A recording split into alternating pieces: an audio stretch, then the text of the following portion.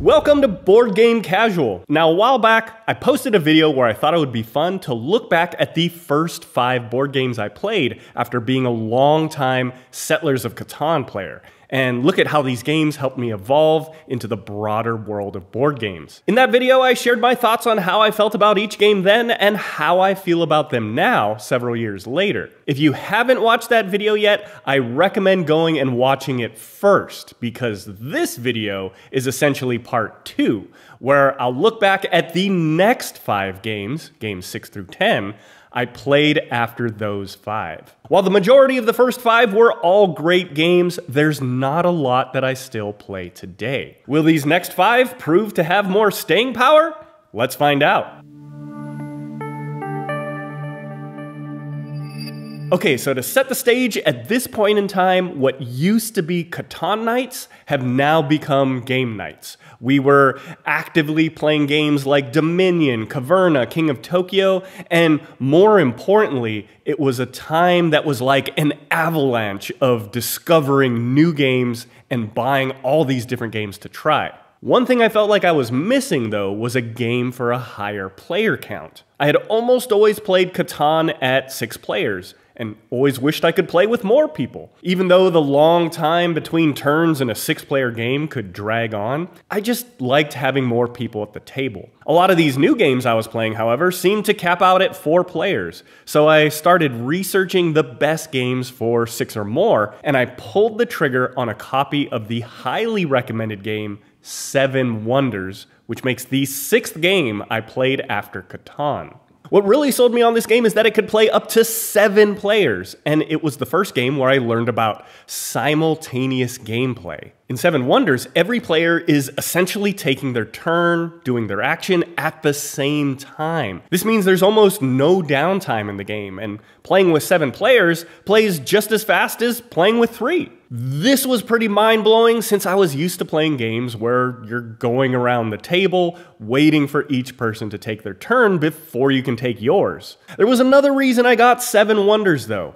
I thought that this would make a good precursor to a different game that I had my eye on. I figured Seven Wonders would be a great introduction to the card drafting mechanism. Around this time, Blood Rage was all the rage, and it was being talked about everywhere. It had a ton of hype, was at the top of everyone's lists, and I thought it looked really cool. I liked the theme, and I was thinking it would be my first game with really cool minis. That said, Blood Rage was also totally different than anything my friends and I were playing. I knew it might be a tough sell to my girlfriend, for example. It had a lot of mechanics we weren't familiar with, and as I learned about how card drafting is one of the main mechanisms in Blood Rage, I thought it would be good to get familiar with the concept through Seven Wonders first. Now, spoiler alert, although I bought Blood Rage shortly after, it sat unopened on my shelf for a long time before I was able to get it to the table. So you're not going to see Blood Rage on this list. Coming back to Seven Wonders, I like this game, but for me, it seemed to wear out pretty fast. I like how you're focused on your own player board and being able to trade and score with the player directly to your right and directly to your left without having to negotiate. I like the feeling of the progression in the game, getting more powerful as your tableau builds and seeing more powerful cards come out each round. I like that there were different ways to score, and yet not so many ways that they were hard to remember when putting together a strategy. But honestly, I just got tired with Seven Wonders pretty quick. The novelty of this game for me really is how quickly it plays at such a higher player count. And Seven Wonders quickly became the game for specifically when we were in a group of six or more and likely seven people. Any fewer, and there were just so many other games I'd rather play instead. Fast forward to today, and I've still got Seven Wonders on the shelf, but I couldn't tell you the last time I played it. I think I was even gifted an expansion for it years ago that I've never played. It's a good game. I would certainly be more than happy to to play Seven Wonders if someone else wanted to, but it's no longer my go to for big groups. I'd much rather play something like Camel Up, Ready Set Bet, or Long Shot the Dice game.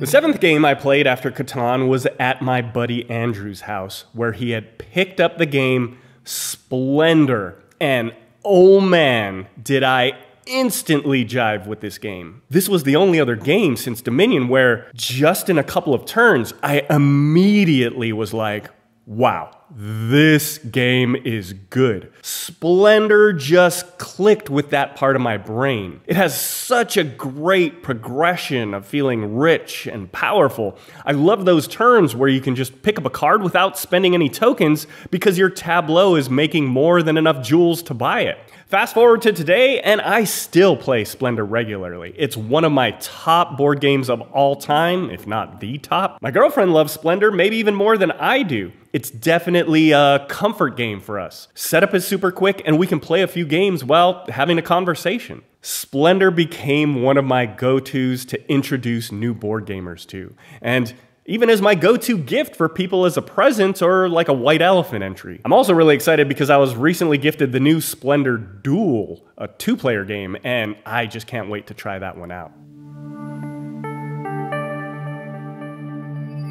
The eighth game I played after Catan was Betrayal at House on the Hill. My buddy Andrew picked up this game and brought it over. I was excited to play it because I had always seen it in the greatest of all time lists and in a video where Sungwon Cho, ProZD on YouTube, talked about how much he liked the game. And we had yet to play this type of story based RPG dungeon crawlery esque kind of game. I was also really excited to see that the game came with painted minis. Unfortunately, though, our play was one of the worst game experiences I've ever had. We were all learning it for the first time, so up front, getting through the rulebook was a bit painstaking. And once we finally got started playing, the story turns seemed to trigger really early. We only opened up maybe two or three rooms, and they were all rooms that only had one or two exits to them and a lot of dead ends. In our story, one of the main characters turned into a blob monster that was growing, rapidly engulfing all the rooms. And within one turn each, we were all dead. There was nowhere to run, and we didn't have any kind of items to slow it down or fight it off. The whole thing felt so pointless, and we barely got to do anything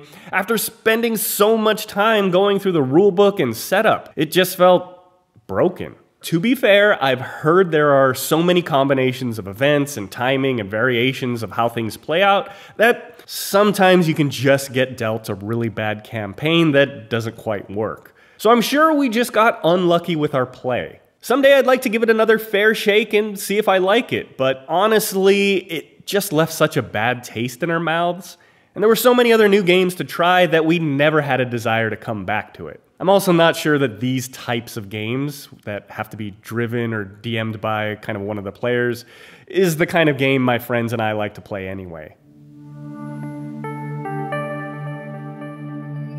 The ninth game I played after Catan was another game I picked up after seeing it recommended in a few Dice Tower videos, including Tom Vasel's top board games of all time list, Roll for the Galaxy, where, at least at the time, he talked about how much more he enjoys this game to its predecessor, Race for the Galaxy. This game has a ton of custom dice, and I really like dice mitigation in games, especially where you can beef up the odds by acquiring more dice and choosing the types of dice you want based on their probabilities for rolling certain symbols. The fact that this game could play up to five and was another game that had a lot of simultaneous play was another selling point for me. This was the first game I played that had privacy screens for each player, where every player is secretly betting by placing their dice and then everyone reveals at the same time to resolve the actions and turn order. I remember that learning the game was a bit of a challenge. This game has a ton of rules, iconography, and terminology, especially having never played Race for the Galaxy or any other game like like this where you have this very specific chain of actions that you have to follow and how sometimes the dice represent your workers and other times they represent a product, etc. It took a while to understand. My girlfriend and I definitely made some mistakes on our first play. But once we got it straightened out, man, what a great game. There's this exciting, kind of low stakes betting aspect of the game, looking at your opponent's boards and trying to guess what actions everyone else is going to trigger that you can then piggyback on for free. There's bag pulling, there's engine building, there's different ways to score points, and I really like that this game is a race rather than a set number of rounds. I love Roll for the Galaxy to this day. It's a great game. It's one of my girlfriend's favorites, and I think think it still feels fresh. Even though it's been a while since I've pulled it out, it's a game that's always on my mind to get to the table. The only thing that really keeps it from coming out more is that I dread having to teach it. If I'm with people who don't play a lot of board games, for example, it's so much easier to teach something like Space Base, and you can be on the ground running right away.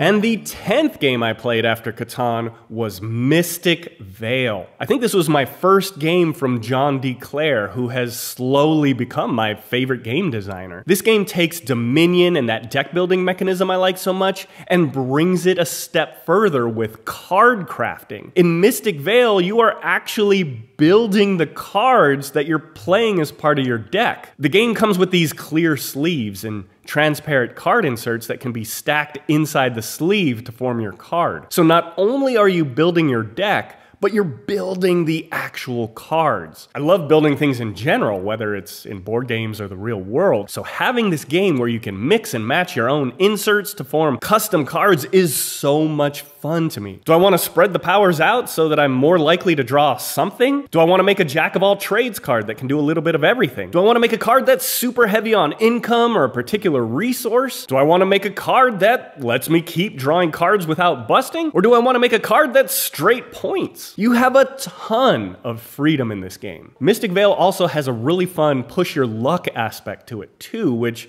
I don't see in a lot of deck builders. Basically, you draw cards one at a time, and you can continue to draw as many as you want into your hand. However, once you hit three strike symbols, you bust. Now you can't play any of the cards from your hand, but you do get a compensation bonus that can be used later. So there's this fun aspect of do I push for one more card or do I make the most of what I have in front of me? This is a great, great game.